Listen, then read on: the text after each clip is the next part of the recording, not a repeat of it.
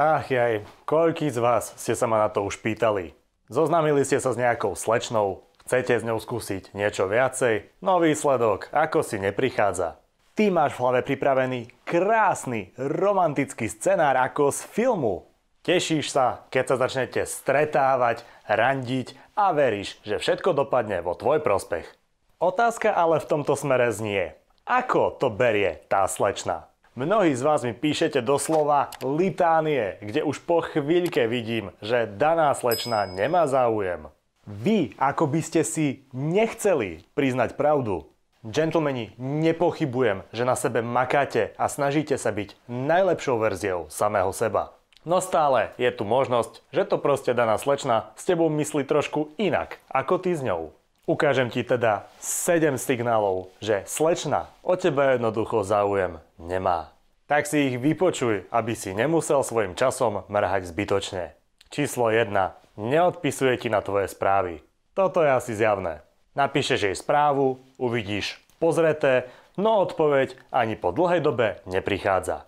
Ty jej v zúfalstve začneš vypisovať správy typu Halo, si tu? Je niekto doma? Prečo mi neodpisuješ?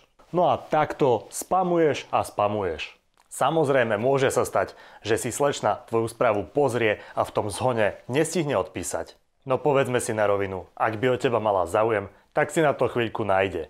Alebo ti aspoň odpíše, že tvoju správu registruje a vyjadri sa neskôr. Maj teda svoju hrdosť a v prípade takejto situácie sa jej nevtieraj, lebo budeš za lúzra. Táto slečna záujem nemá. Bodka. S tým súvisí číslo 2. Je stále zanepráznená. Dajme tomu, že si spolu píšete, no ty chceš vašu online komunikáciu previesť do reálneho sveta. Chceš sa s ňou stretnúť aj osobne, čiže pozvať ju na nejakú formu rande. Vymyslíš si úžasný plán. Ak nemáš nápady, nájdeš ich o videu tuto hore. Avšak slečna už presne v ten čas niečo má. Musí sa učiť na skúšku, má tréning taekwonda, ide vyvenčiť škrečka, cestuje pozrieť babičku na vidiek.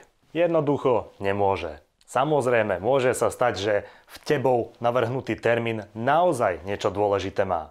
Preto je dôležité situáciu správne vyhodnotiť. Ak nemôže, tak sú dve možnosti. Buď ti navrhne nejaký nový termín, kedy čas má. Alebo jej navrhneš nový termín ty a uvidíš reakciu. Ak však na nič z toho nedôjde a je stále zanepráznená, no kamaráde, mám pre teba zlú správu. Jednoducho o stretnutie s tebou záujem nemá, no nechce ťa uraziť. A preto sa radšej vyhovára a tvári sa zanepráznene. Číslo 3. Vyhýba sa pohľadom na teba.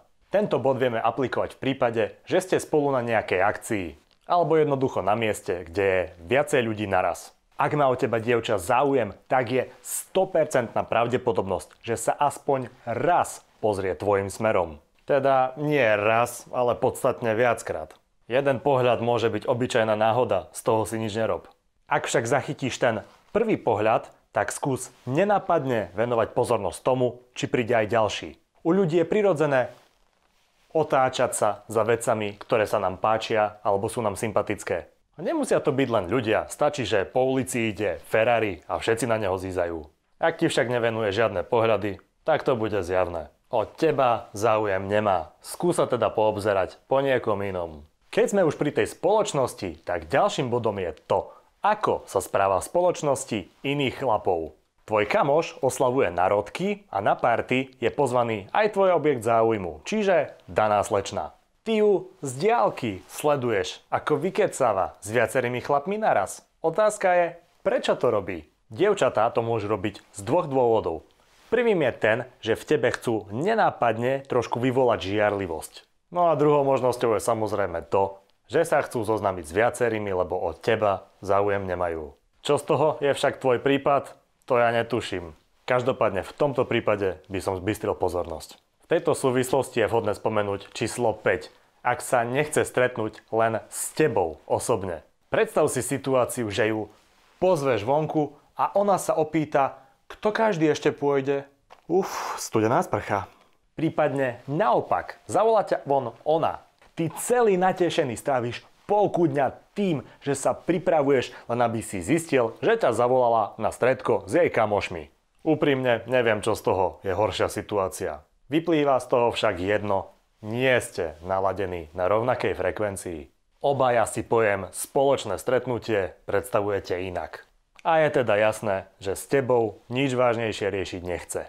Čo ak sa však zadarí a stretnete sa? Číslo 6 je, ak stretnutiu s tebou nevenuje pozornosť a nie je pre ňu dôležité.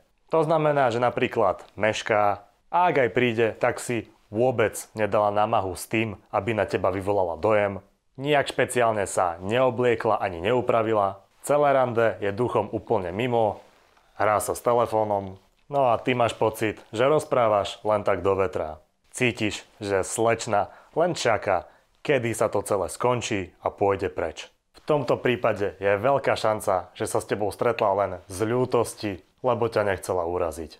A teda logicky nechce s tebou nič riešiť. No a napokon číslo 7, čo je najhoršie a zároveň najlepšie, povie ti na rovinu, že záujem nemá. Najhoršie preto, lebo to pochová všetku tvoju šancu a všetky tvoje nádeje, no zároveň najlepšie, lebo vieš na čom si a nemusíš strácať čas. Pravdepodobnosť toho, že ti žena na rovinu povie, ako to berie, je však mizivá. Žiadna žena totiž nechce uraziť krehké mužské ego tým, že mu povie na rovinu pravdu. Preto sa bude radšej priamej konfrontácii vyhýbať. Bohužiaľ, gentlemani, aj mne sa to veľakrát stalo. Každá žena sa sama rozhodne, či má alebo nemá záujem a vy s tým nič neurobíte. Dôležité je v tejto situácii postaviť sa k tomu ako chlap a prijať realitu. Na svete sú takmer 4 miliardy žien. Ver mi, kvôli jednej sa svet nezrúti. Tak teda hlavu hore a aj napriek neúspechu vždycky buď gentlemen.